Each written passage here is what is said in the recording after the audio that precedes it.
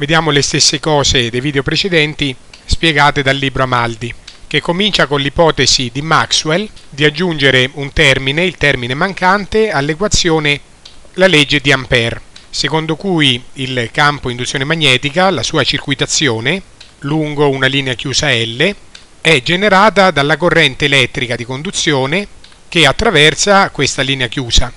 Maxwell propose di aggiungere il termine che contiene che esprime le variazioni del flusso elettrico in analogia con il termine che era stato aggiunto, questo, alla circuitazione del campo elettrico che dal valore 0, circuitazione del campo elettrostatico, 0, era invece diventata circuitazione del campo elettrico uguale a meno la rapidità di variazione del flusso magnetico.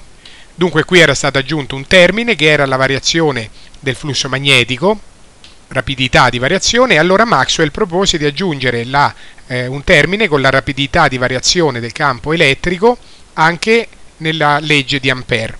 Come abbiamo già detto, Maxwell ragionò sul processo di carica di un condensatore, il cosiddetto transiente di carica, cioè quell'intervallo di tempo in cui arriva la corrente elettrica e si deposita sulle armature del condensatore. Comunque abbiamo già descritto in dettaglio questo ragionamento nei video precedenti. Per superare la contraddizione logica di una circuitazione del campo induzione magnetica che esiste diversa da zero attorno al filo percorso da corrente, cioè lungo i percorsi L1 e L2, non esiste invece circuitazione lungo il percorso L3 e risulta indeterminata lungo il percorso L4, dunque per superare queste contraddizioni logiche, Maxwell aggiunse la corrente di spostamento. Era il termine mancante che contiene la rapidità di variazione del flusso elettrico attraverso quella linea. Il termine aggiunto è la corrente di spostamento, da calcolarsi attraverso la superficie che ha come contorno il cammino L scelto per la circuitazione.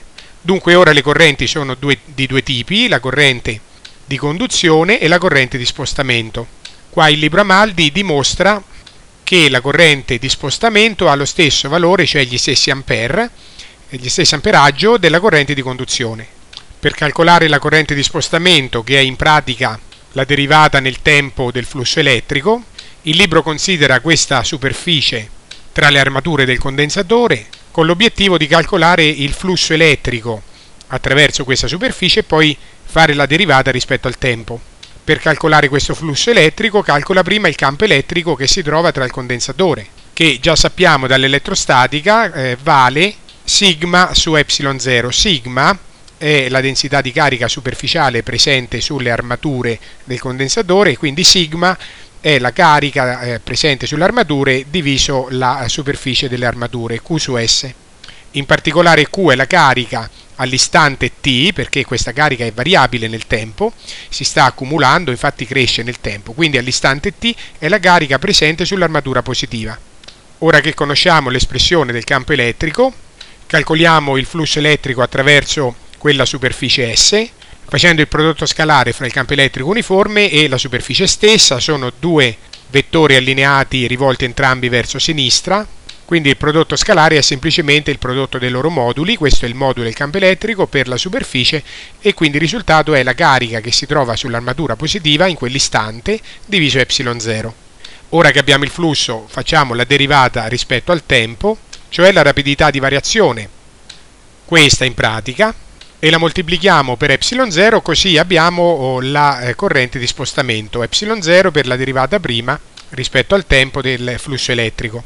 Ma la derivata del flusso in pratica è la derivata della carica sul condensatore che abbiamo già visto nei video precedenti che la derivata di Q è delta Q delta T è la corrente di conduzione normale quindi alla fine si trova che la corrente di spostamento è identica come valore alla corrente di conduzione che scorre nel filo. La corrente di spostamento nello spazio tra le armature è uguale all'intensità della corrente di conduzione che scorre nel circuito. Dunque all'interno del condensatore c'è comunque il campo B, la cui circuitazione è data non dalla corrente di conduzione perché non c'è nessun filo che scorre all'interno del condensatore, ma è data invece da un'altra sorgente, cioè la corrente di spostamento che tanto ha lo stesso valore della corrente di conduzione, quindi si ottiene lo stesso valore della circuitazione di B. cioè la circuitazione di B ha lo stesso valore lungo tutti i cammini che abbiamo scelto, L1, L2, L3 e L4. La circuitazione di B è la stessa lungo tutti e quattro questi percorsi. Cambia la sorgente fisica, qui la, la causa che genera la circuitazione di B è la corrente di conduzione, lo stesso anche per la circuitazione lungo L1. Per la circuitazione lungo L3 invece la sorgente della circuitazione di B è la corrente di spostamento che tanto ha lo stesso valore della corrente di conduzione. E per la circuitazione lungo il percorso L4 abbiamo la corrente di spostamento che si trasforma, cioè cambia forma e diventa corrente di conduzione, tanto il valore è sempre lo stesso.